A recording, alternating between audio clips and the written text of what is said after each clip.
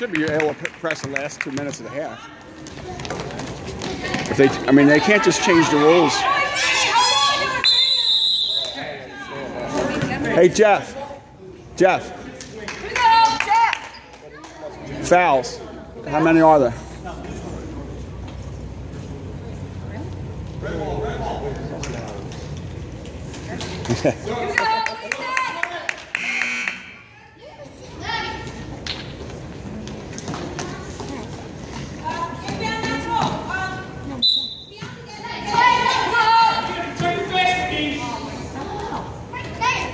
That's a little walk.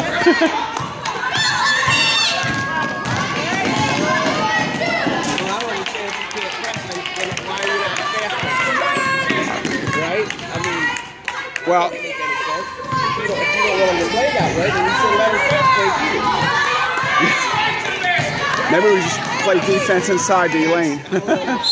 It must be the rest. yeah, it is. All season we've been playing. You know, as long as you allow them to come across the line in possession, you know, It's your half and half court. It's, it's all. I know. Whether you pass it or, or carry it across. Like right now, you should be able. Well, we can say in the white line. What's the, you know, I don't understand the white line. He just made that up. I didn't get that either. Yeah. Yeah, we have we have speed. You guys got height, so that kind of stuff takes away our advantage. That's I'm saying. You can't press the line ball on the fast break. Yeah, I, I know. Doesn't make any sense. All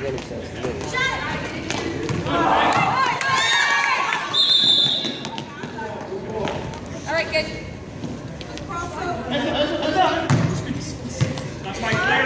Is it? Now see, she was she was real sentimental make the play on that, and that was my daughter. so I'll tell you that. Yeah, yeah. It doesn't make any sense. Even dribbling across, as long as you get across, you don't set up a picket wall. I could see them not wanting to put a wall right on the on, on the red line. You know? You're not going to do that anyway because then you leave your Yeah. Yeah, there, there is a counterbalance to taking that chance.